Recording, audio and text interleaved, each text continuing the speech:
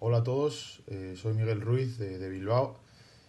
Eh, yo participé en dos veranos eh, en, Coast to Coast con, Willy y he de decir que, son dos veranos que no voy a olvidar nunca porque era la primera vez que, iba a Estados Unidos el primer año y luego el segundo año, como íbamos gente ya que habíamos conocido el año pasado, pues he de decir que, que lo pasamos muy bien eh, bueno, así como un poco resumen, eh, Coast to Coast y, Willy, eh, como programa, por así decirlo, es un, está muy bien pensado. por un lado, entrenas, te desarrollas, por así decirlo, o desarrollas tu nivel de baloncesto. Y por otro lado también, pues practicas el inglés. Claro, allí en Estados Unidos, pues americanos, bueno, no solo americanos, porque también va gente internacional, por así decirlo. Entonces también te da la posibilidad de conocer a, mucha gente y, de conocer otras culturas, ¿no?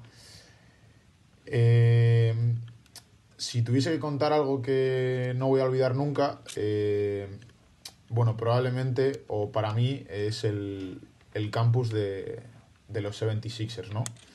Eh, allí, pues, hay gente de, hay gente de nivel y es un campus que te exige, que te exige mucho, eh, sobre todo físicamente,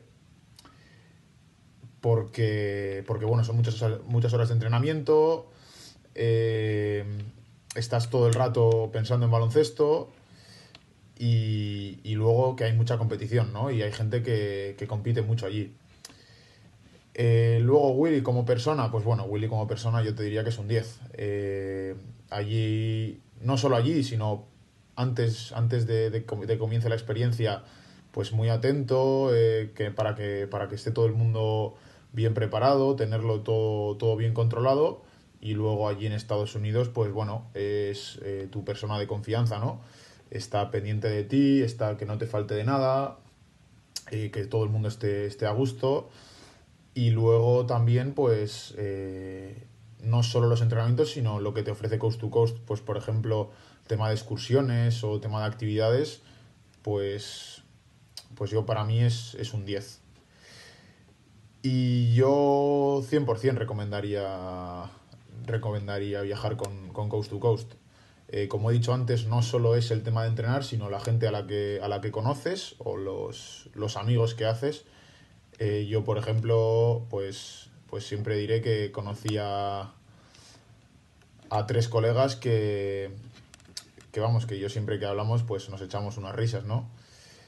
Eh, que seguro que van a ver este vídeo. Aprovecho para saludarles a, a Héctor, a Nico y a, a Javi. Y, y nada, eso. Eh, y como dice, como dice Willy, Uh, at Coast to Coast events, we do it big, baby. We do it big.